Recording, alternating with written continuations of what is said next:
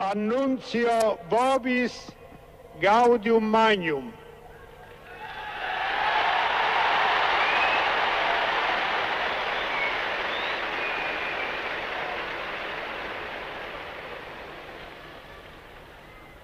Habemus papam.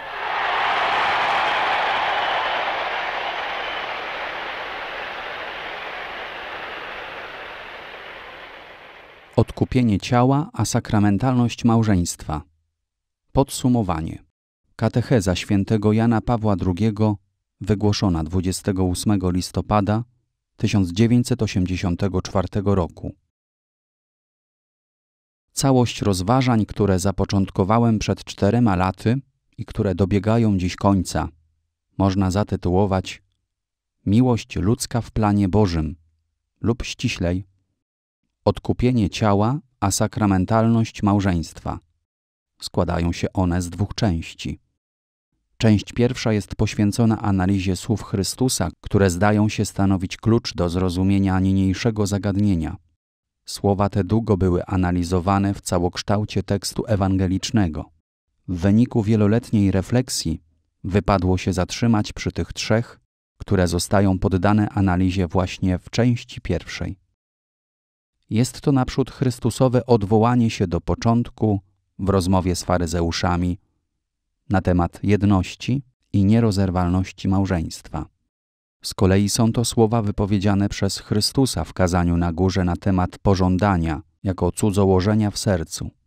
Wreszcie są to zapisane przez wszystkich synoptyków słowa, w których Chrystus odwołuje się do zmartwychwstania ciał w świecie przyszłym.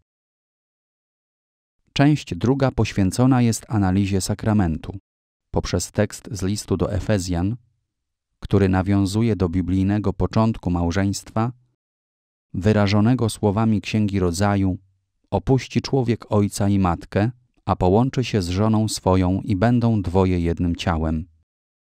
Analizy prowadzone w obrębie pierwszej i drugiej części wielokrotnie posługują się wyrażeniem teologia ciała jest to określenie poniekąd robocze.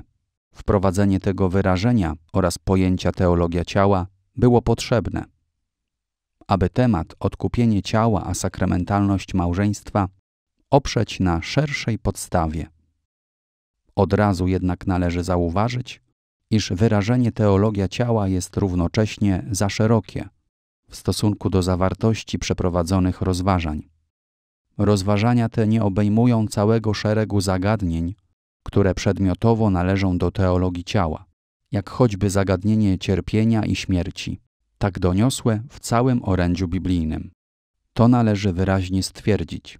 Niemniej wyraźnie trzeba też stwierdzić, że rozważania na temat odkupienie ciała, a sakramentalność małżeństwa mogą się prawidłowo rozwijać, wychodząc z tego punktu, w którym światło objawienia dotyka rzeczywistości ciała ludzkiego, czyli na gruncie teologii ciała.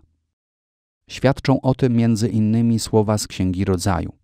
Będą dwoje jednym ciałem, które źródłowo i tematycznie stoją u podstaw naszego tematu. Rozważania na temat sakramentu małżeństwa zostały przeprowadzone z uwzględnieniem dwóch wymiarów istotnych dla tego sakramentu: wymiaru przymierza i łaski oraz wymiaru znaku. Poprzez oba te wymiary sięgamy stale do rozważań teologii ciała związanych z kluczowymi słowami Chrystusa.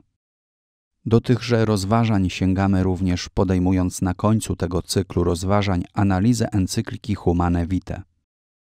Nauka zawarta w tym dokumencie współczesnego nauczania Kościoła pozostaje w organicznym związku zarówno z sakramentalnością małżeństwa, jak też z całą biblijną problematyką teologii ciała, skoncentrowaną wokół kluczowych słów Chrystusa. W pewnym sensie można nawet powiedzieć, że całokształt rozważań na temat odkupienie ciała, a sakramentalność małżeństwa stanowi jakby rozbudowany komentarz do nauki zawartej właśnie w encyklice Humane Vitae. Komentarz taki wydaje się bardzo potrzebny. Encyklika bowiem dając odpowiedź na pewne współczesne pytania z dziedziny moralności małżeńskiej i rodzinnej, równocześnie wyzwoliła inne pytania. Są to, jak wiemy, pytania natury biomedycznej. Są to jednak także, a może nawet przede wszystkim, pytania natury teologicznej. Leżą one na tym obszarze antropologii oraz teologii, który tutaj obejmujemy nazwą teologii ciała. Przeprowadzone rozważania polegają na podjęciu tych pytań wyzwolonych przez encyklikę Humane Vitae.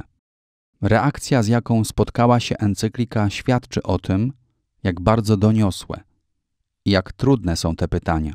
O ich istnieniu świadczą także późniejsze wypowiedzi Pawła VI, w których wskazuje on na możliwość udoskonalenia wykładu prawdy chrześcijańskiej w tej dziedzinie. Świadczy o tym również adhortacja Familiaris Consortio, owoc synodu biskupów z 1980 roku. Dokument zawiera skierowane zwłaszcza do teologów wezwanie do pełniejszego opracowania biblijnych i personalistycznych aspektów nauki zawartej w Humane Vitae. Podjęcie pytań wyzwolonych przez encyklikę polega równocześnie na ich sformułowaniu i na szukaniu odpowiedzi w związku z pytaniami odpowiednio sformułowanymi.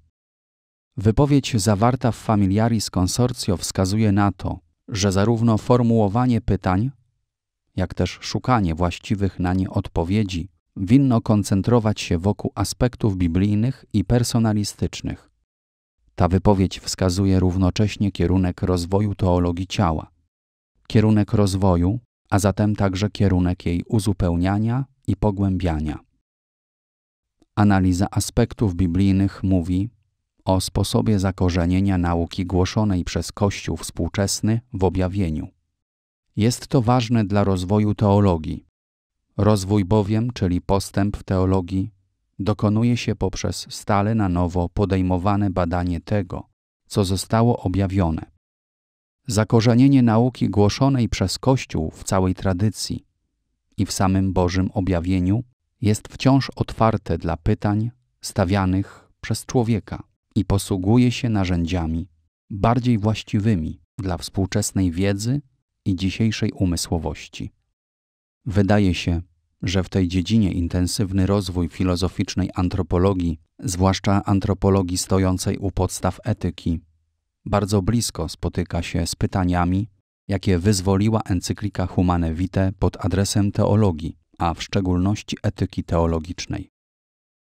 Analiza aspektów personalistycznych nauki zawartej w tymże dokumencie posiada zasadnicze znaczenie dla ustalenia, na czym polega prawdziwy postęp, czyli rozwój człowieka. Istnieje bowiem w całej cywilizacji współczesnej, zwłaszcza zaś w cywilizacji zachodniej, ukryta, choć zarazem dość wyraźna tendencja, ażeby postęp ten mierzyć miarą rzeczy, czyli dóbr materialnych. Analiza aspektów personalistycznych nauki Kościoła zawartej w encyklice Pawła VI wskazuje, że jest w niej wyrażone zdecydowane wezwanie, ażeby postęp człowieka mierzyć miarą osoby, czyli tego, co jest dobrem człowieka jako człowieka, co odpowiada jego istotnej godności. Analiza aspektów personalistycznych przekonuje, że w encyklice chodzi o sprawę istotną z punktu widzenia prawdziwego rozwoju człowieka. Ten bowiem mierzy się zasadniczo miarą etyki, a nie samej techniki. Fragment poświęcony encyklice Humane Vitae stanowi tylko część, końcową część rozważań objętych wspólnym tematem odkupienie ciała, a sakramentalność małżeństwa. Jeśli w słowie końcowym na tę właśnie część zwracamy szczególną uwagę, to nie tylko dlatego, że jest ona najbardziej związana z naszą współczesnością, ale przede wszystkim dlatego, że z niej pochodzą pytania, które przenikają poniekąd całokształt przeprowadzonych rozważań. Tak więc owa końcowa część nie jest sztucznie dołączona do całości, ale jest z nią zespolona w sposób organiczny i jednorodny. W pewnym sensie więc owa część, która w układzie całości umieszczona jest na końcu, znajduje się równocześnie na początku tej całości. Jest to ważne z punktu widzenia struktury i metody. Nie bez znaczenia. Jest może i moment historyczny. Rozważania niniejsze rozpoczęły się w okresie przygotowań do synodu biskupów 1980 roku na temat małżeństwa i rodziny. Kończą się zaś po ogłoszeniu adhortacji Familiaris Consortio, w której zawiera się owoc prac tego synodu. Wszyscy wiedzą, że synod 1980 roku nawiązywał również do encykliki Humane Vitae i w pełni potwierdził zawartą w niej naukę. Jednakże najważniejszy wydaje się moment merytoryczny. Otóż moment merytoryczny w całości przeprowadzonych rozważań można określić jak następuje. Ażeby wyjść na spotkanie pytań, jakie wyzwala encyklika Humane Vitae, przede wszystkim w teologii, ażeby pytania te formułować i szukać na nie odpowiedzi, trzeba trafić na ten obszar biblijno-teologiczny, o którym mówi tytuł Odkupienie ciała, a sakramentalność małżeństwa. Na tym obszarze znajdują się odpowiedzi na odwieczne pytania ludzi, mężczyzn i kobiet, również i na trudne pytania naszej współczesności w dziedzinie małżeństwa i rodzicielstwa.